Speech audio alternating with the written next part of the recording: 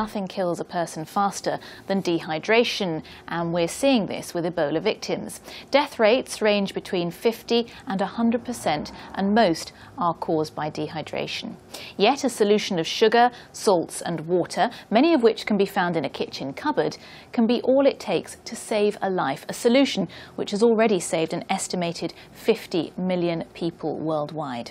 The Lancet has described this oral rehydration therapy as potentially the most important medical advance of the 21st century. And UNICEF says that no other medical innovation of the century has had the potential to prevent so many deaths over such a short period of time and at so little cost.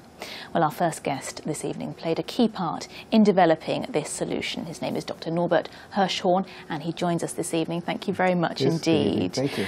I mean, it's incredible to be able to say that you are credited with saving the lives of 50 million people. I and many other people who worked on this subject, yes. Explain to us exactly how it does work. Oral rehydration therapy essentially uses the intestine to absorb necessary salts and water that have been lost, usually from diarrheal disease. And it, you can also do it with intravenous therapy, but that's much more expensive and takes certain expertise to be able to, to do. Whereas oral rehydration therapy is, is now known, you can, one can do it in the home if the parent or the mother caretaker have been trained in its use. And how vital is it in the treatment of Ebola? Well, to my knowledge, Ebola uh, really is a disease that affects the intestinal tract and, and other organs, but there's a great deal of vomiting and diarrhea and dehydration. And many of the patients who die may die of dehydration well even before they have the terrible hemorrhagic uh, effects of the virus in the later stage.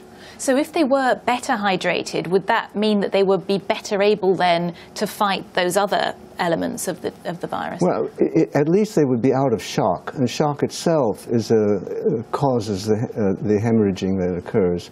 Now, I don't know that there's been a proper study or understanding of using oral rehydration solutions for the Ebola patients that we now see. Right. Uh, I've asked the U.S. Centers for Disease Control if they're proposing to use the oral rehydration salts, and it certainly is in the WHO guidelines for treating these viral hemorrhagic fevers. So I think a, an effort to make these simple solutions available, UNICEF has stocks and stocks of them, uh, would, would be very useful to do as part of the overall treatment. Sure, because I mean, you know, we said th- this is the stuff that people have in their kitchen cupboards, but is that so in places in Africa? Is well, so I think you'd get have to mobilize the people to understand what to do. You wouldn't want to be treating Ebola patients at home. But, you know, recognize that uh, even while this epidemic goes on, many tens and hundreds of thousands of more people are affected by diarrheal disease and by high fevers and other conditions that which, which will cause dehydration even as the epidemic goes on. So generally the whole medical system should be training not only health workers but also families in using rehydration fluids. Some of the ingredients certainly can be prepared at home. And we're not just talking about people who are sick with Ebola in this case, but, but other diseases too. In the case of Ebola, we're also talking about it helping the medical workers who are in those incredibly hot outfits. aren't Yes, I've, I've seen them in these uh, hot outfits. I mean, they're covered from head to toe. Uh, do they sweat a lot? Are they impaired in their work by losing so much fluid? Would they benefit from rehydration uh, that they can do right on the spot without having to take everything off and put it all back on again? Uh, again, I don't know how this is working out and if there are major complaints on this, but it's something to think about. Well, indeed, I'd, I'd read that it, it took a couple of hours for them to rehydrate after an hour of working in Yeah, those someone has conditions. said that. Yeah. We certainly should get the evidence from the workers themselves. Yeah. On a wider level, what are the long-term effects on health of dehydration? I'm not talking about very serious episodes of dehydration, but you know, those of us who perhaps don't drink as much as, as we ought to, are there studies into how that can affect health longer term? You know, we go back to the original source and, and, and cause and use of rehydration salts was for cholera patients. And once they were hydrated and the cholera vibrio disappeared uh, from their systems, uh, then they were fine. Uh, if, if children have chronic bouts of diarrhea, several in a year, they'll develop malnutrition. So uh, one of the things that oral rehydration therapy has done is to improve or protect the nutrition of children with bouts of diarrhea. Their appetite returns, they can feed, and so on. Um, in the long term, once you recover from a a, serious illness like that, with, and with recovery, you should be fine. Mm -hmm. I mean, I've had this with my own two-year-old. When he's had these episodes, you can go to the chemist and you can buy these rehydration sachets, and they're very right. useful. What about in parts of the world where you can't go to the pharmacy and pick those well, up? this is this is the absolute problem of the outbreak. Is we have a primary healthcare system that's not working; it's crumbling.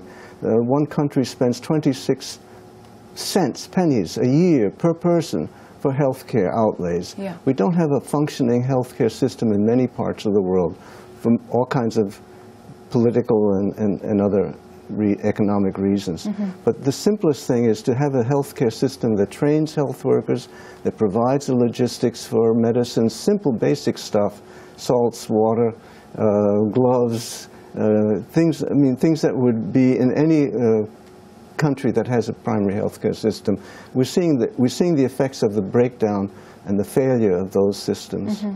But for people who don't have access to those systems that you're talking about in poor countries, I mean, what should they be giving people who are dehydrated? It's not just as simple as giving them a glass of water, is it? Things that they have perhaps in their own home. Again, it needs training. One can make a, a salt sugar solution from salts and sugar at home. Right. Uh, rice-based oral rehydration salts uh, is a very effective way of treating it. But again, we go back to building the infrastructure of health care, training of workers, training of community workers. Uh, and without that, it becomes very difficult every time some outbreak occurs. It could be cholera outbreaks, it could be Ebola. How did you come to find the importance of oral rehydration therapy? I was working in the cholera research laboratory in what was then East Pakistan, now Bangladesh. Uh, we were faced with an epidemic uh, that uh, used up almost all our intravenous resources. We understood from scientific studies in animals that glucose and sodium, that is the sugar glucose and the uh, salt sodium, would mutually absorb with each other and water across the intestinal tract. Mm -hmm. And cholera was, and other diarrheal diseases was a, a, disease that caused water outflow from the bloodstream into the intestine and out. Mm -hmm. And if you could reverse that flow with oral rehydrations, glucose, salt, and water, uh, then you could save the person and, the, and their own body systems would then uh, uh eliminate the disease. Mm -hmm. In the introduction uh, to this interview, we, we said that you are credited with saving the lives of some 50 million people worldwide. I mean, that's almost incomprehensible, yes, yes, isn't yes, it? How does knowing that make you feel? Well, I, I, I felt blessed to even be approached with that kind of number because I've been working in this field for several decades now. And it was an improvement of the information transfer and the training of workers around the world and the, the supply of the salts by the UNICEF and other agencies that made it possible now that uh, almost all parts of the world are familiar with this use and, and have been trained at home to use it. So we started from zero and we are now at a stage where we can think of it this as a normal rational treatment. Well, I mean, it's just an incredible thing you've done. Do you, do you know, I mean, probably modesty prevents you from saying, but do you know if anyone else in the world can lay claim to sort of have had the kind of impact that you have had on worldwide Well, health? I don't claim it for myself. Uh, many, many health workers uh, all around the world have been involved. Everybody was at the, at the front end of it, uh, showing the, that it was possible to do.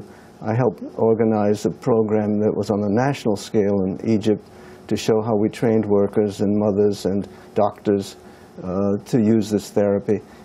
And, you know, I just kept at it, and so, but so did so many other people. And it was a, it was a wonderful way to spend a lifetime. Mm -hmm. Very briefly, just to, to end this, I, have been reading about your own personal history, your own childhood.